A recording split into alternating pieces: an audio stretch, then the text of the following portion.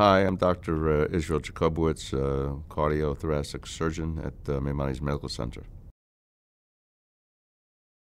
I went to medical school at uh, SUNY Buffalo, started in 1969, graduated in 1973, and from there I went on to a training in uh, general surgery and cardiothoracic surgery at New York University Medical Center under the direction of uh, Frank uh, Spencer.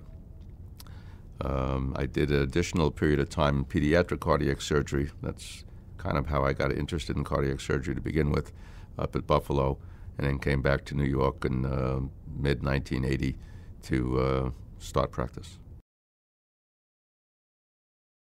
My first uh, interest in cardiothoracic surgery was piqued as a medical student. I uh, happened to see a uh, operation on a nine-month-old child, and I have to say that that piqued my interest. Up until that time, I was going to be a pediatrician. Uh, the combination of the fact that uh, I didn't want to do well baby care and that I wanted to take care of sick people uh, led me to the decision about cardiac surgery. I think the patients we take care of really uh, challenge your mind as far as respiratory and cardiac uh, care for the patient, and, and certainly is technically challenging. So that's why I ended up in, in this field.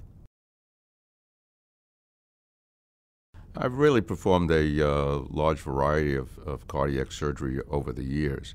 Uh, I think that uh, starting in the uh, mid late 1990s, my interest was to try to uh, uh, do heart surgery, particularly bypass surgery, without the heart lung machine and doing less invasive approaches.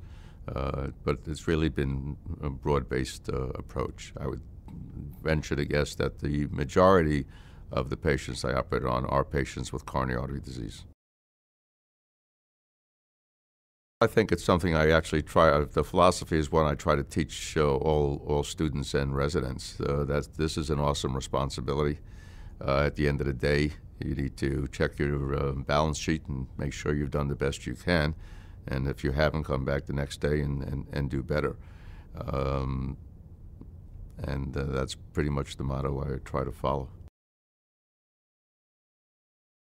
As in many areas of surgery, it has really uh, evolved. Uh, if I look at general surgery today, it's nothing like it was when I was a general surgery resident. The things are done through small incisions and uh, through scopes, and it's a whole different uh, skill set that you need to learn.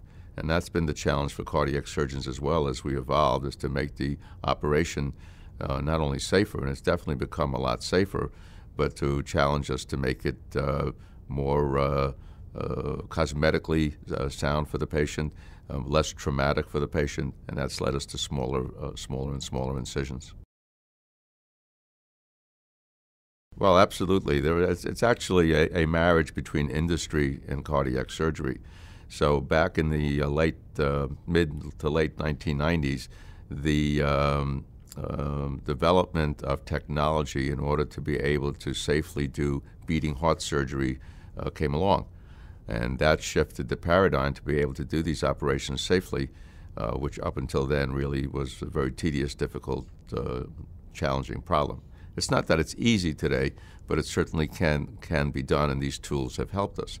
Similarly, with valve surgery, uh, again, about late 1990s, technology came around to be able to use uh, alternate ways of putting patients on the heart lung machine so that you could do the operations through small incisions.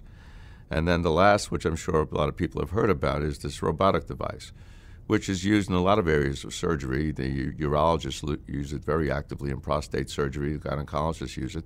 I think it's used to a lesser degree in cardiac surgery, but uh, it's certainly something that uh, uh, we're, we're using and looking at with great interest. Uh, we've used it here at this institution over the years uh, with regard to taking down uh, arteries under the breastbone to facilitate doing minimally invasive uh, bypass surgery. What I'd like a new patient uh, to know is that uh, number one, I'm affiliated with an excellent institution. Our uh, care provided in our open heart unit and throughout the hospital is uh, par ex- excellence, and uh, they don't have any concerns with regard to that.